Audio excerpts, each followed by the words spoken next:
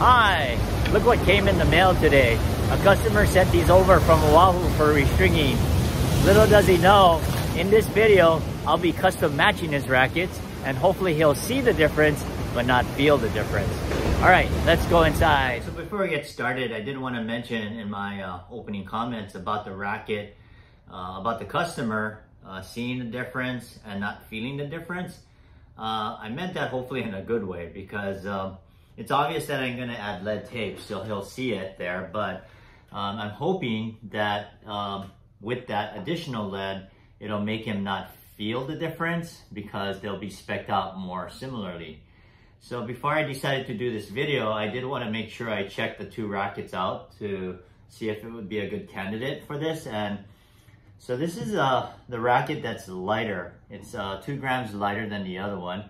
And uh, what really stood out though was a swing weight. It's uh, nine units lower.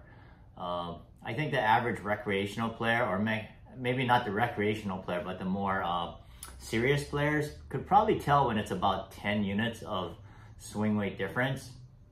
So I thought that, you know, that would be, um, that would be noticeable. But it'd be interesting to see if you actually did notice a difference. Uh, and then when you get down to about five units, then uh, might not be noticeable for most players. But I'm gonna go ahead and make this one match the other one. So uh, on this uh, other racket here is um, the heavier one. Uh, I got, um, we'll do the specs as um, I'm describing it, but it came in at 348 grams. And when I weighed this other, this second racket, this lighter one, uh, it's right at 346. So there's the two grams right there. The uh, swing weight on this one is at 307. And this is where the, the difference was right here, is the swing weight. So I'm gonna go ahead and redo it. And so that this one was 307. And this one's coming out at uh, 298. So there's that nine units right there. Um, I even did the stiffness, not that I could change that, but if you've never seen an RDC uh, do the uh, stiffness test, I'll just go ahead and show it to you. But basically it's just gonna bend the frame a little bit. So um, once this uh, tulip, that's what it's called, uh, touches the frame, you're gonna see it start bending right here. And it's taking a measurement of stiffness when it's uh, bending it down like that. Um, so yeah, it's right at 56. So, um, and the other one was the same, so that's good. All right, so what I'm gonna do is I'm gonna take the weight difference, which is two grams, and that's about four inches of lead tape, and place that at 12 o'clock and see if that'll bring the swing weight up to the uh, targeted weight, uh, swing weight at 307. So we'll start with that as our first uh, style here. So I have some scotch tape and I'll use the four inch length of lead tape. And I'll just go ahead and place it right at 12 o'clock at the top here. And right now, again, this is just a temporary uh, application until we know the exact weight and location. Well, we're doing it at 12, so it's more the weight. Because really what I'm trying to get is the swing weight, even if it means that the weight might be a little bit off. So we'll see where this is at at four inches. All right, so we're at 305. So I want to get it right at 307. So next I'm going to take this off and go ahead and try uh, five inches. So I have a couple of pieces here already um, cut and I'm gonna go ahead and I have these in two halves so I'm just gonna put two two and a half pieces right from the center going down and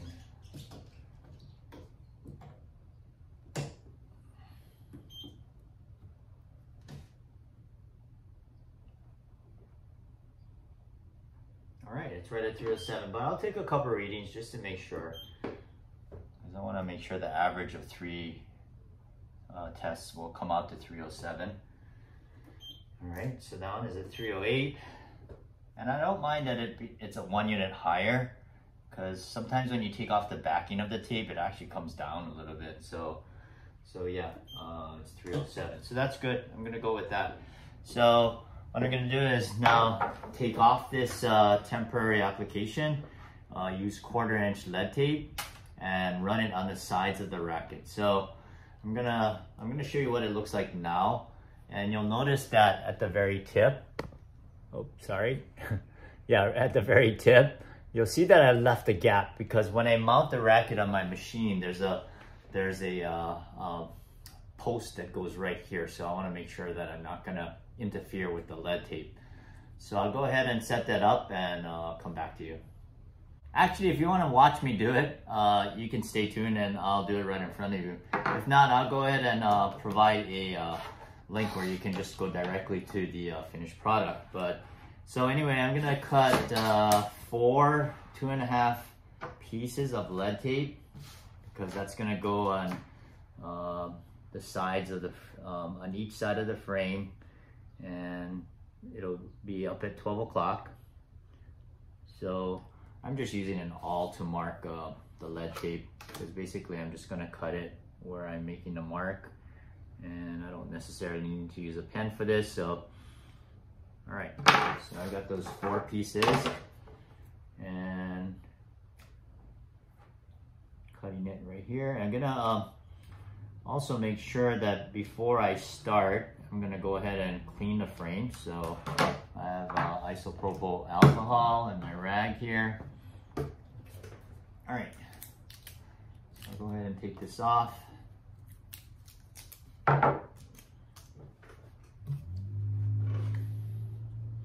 Now sometimes if this frame was a brand new frame, and let's say if, um, yeah, this is a brand new frame, for this application, since it's so little lead and it's red at 12 o'clock, I would actually take off the bumper guard and hide it under because uh, then that way, you know, the, the lead is uh, concealed.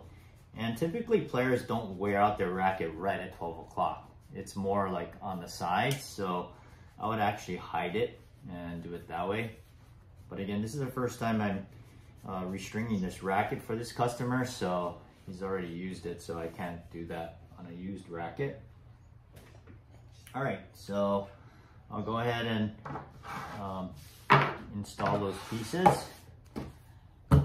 All right, I'm gonna actually use my wheel roller that um, if you've seen any of my previous videos that I use to flatten down the lead. So uh, what I'm gonna do is um, put, apply the lead tape, but not push it down like really hard because sometimes, uh, yeah, I just want to double check it to make sure everything is good before I permanently uh, put it down on the frame within the beam of the racket so it's not touching the grommet, the barrel, uh, and of course not sticking past the uh, outer edge of the frame because basically I want to just make sure it's pretty much right down the middle within the beam.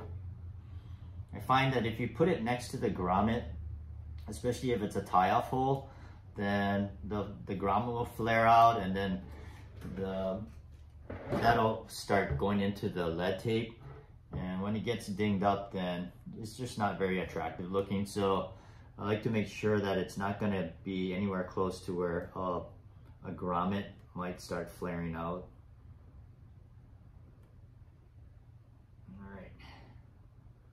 So you just want to make sure you're using the same reference hole uh, when you're running the lead tape down.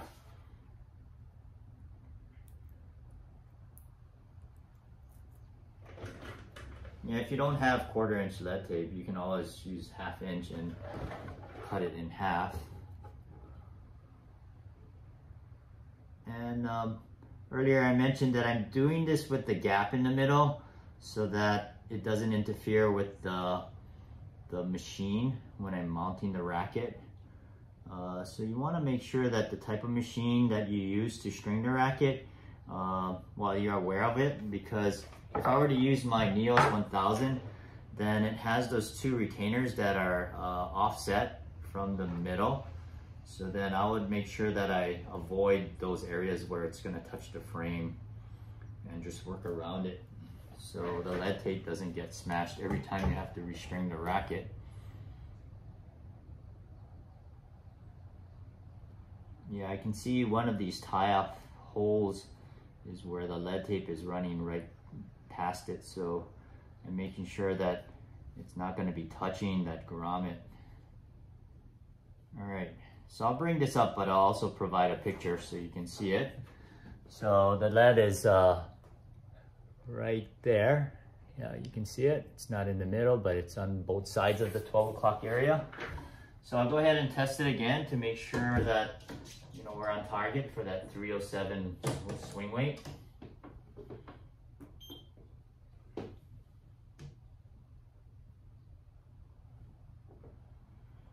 And I'll take uh, more than one reading so we can average it out.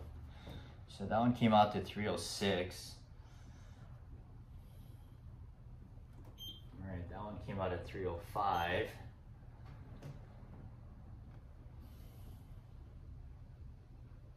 Yeah, so this one's actually a little bit on the low side. So, uh, yeah, I'm sorry. That one came out to 305 again. So I really want to make sure it comes up to 307. Uh, we'll take the weight just to make sure, well, just to check where we're at, at, this point. But uh, yeah, I'm to put three inches, I think. I just want to make sure that if I'm going through all of this trouble, I want to make sure that it's exact. So yeah, it's at 348 right now. It's matching in weight, but um, I'm gonna go ahead and uh, do the same application, put three inches on each side, and uh, I'll come back to you at that point. All right, so what I did is I added three inches on each side of the uh, 12 o'clock area, running it from the center uh, down to each side. And um, I did the swing weight, and uh, it came out to 306, the average. So it didn't reach the 307. Uh, the swing weight came out to 349, so it increased it by um, well, it's one gram heavier than the other one. So I'm gonna stop there because I think that's really good um, in terms of getting it close. Uh, I wish it was at 307 though, but um, so anyway, I'm gonna go ahead and um, use the wheel roller and use this to get the lead tape really to flatten down onto the surface of the frame. And what's really good about this is that you can really get a good leverage and just really get it down on there and you won't you don't have to rub it in with your thumb so that's always good when you don't have to um, touch the tape the lead tape um, it can yeah lessen the amount of lead tape that's uh, you're exposing yourself to lead tape. I know what I'm trying to say. Anyway I'm gonna just make sure you get that all down here.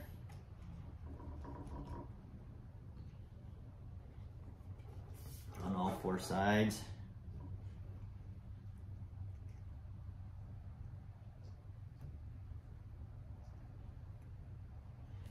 All right, so there's the finished finished product. It looks like that. Um, and I'll provide a picture so you can see it better.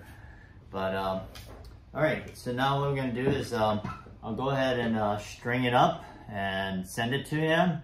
And I won't tell him, I'll see what he says first. And then, um, um, yeah, I'll let you know once um, he gets back to me. In case you're wondering why I didn't even talk about the balance of the racket, uh, it's because the swing weight, because the swing weight is a dynamic measurement of what the racket's doing when it's uh, being played. Well, it simulates what a racket would feel like when you're uh, playing. Uh, that That's what the player's gonna feel more than the balance point. But uh, we'll go ahead and check it out just to see. I already took the balance point of the heavier racket, which was a 15 points headlight which was uh, about 29.5 centimeters. And we'll go ahead and check out what this one came out at with the added weight. So it's probably gonna be a little bit less in terms of headlight. Um, so we'll bring it up here and it's coming in right at, eh, right around 14 or about 29.7 centimeters. So uh, yeah, this one is a little bit head heavy.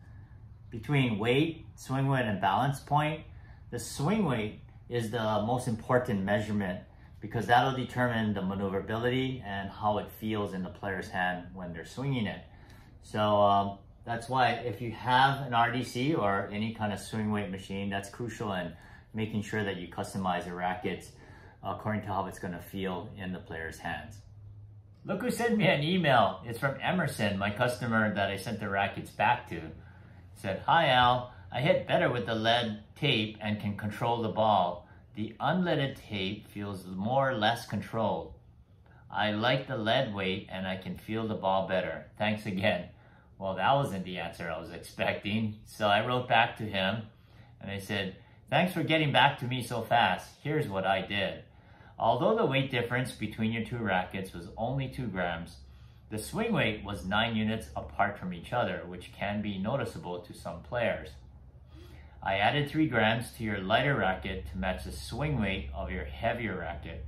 So it might be psychological since you can see the lead tape on that one frame, but now your two rackets should play identical to each other. At least that was the goal. Maybe now that you know this information, it might feel more similar the next time you hit. Well, there you have it. It is what it is. If you enjoyed this video and thought it was helpful, I did another video where I fully customized a player's racket to its specification by adding 21 grams to the head and handle. This video is on the International Alliance of Racquet Technicians website and will be featured on the July newsletter. If you'd like more information about IART, check out gssalliance.com. Thanks for watching, happy customization, and let your strings play.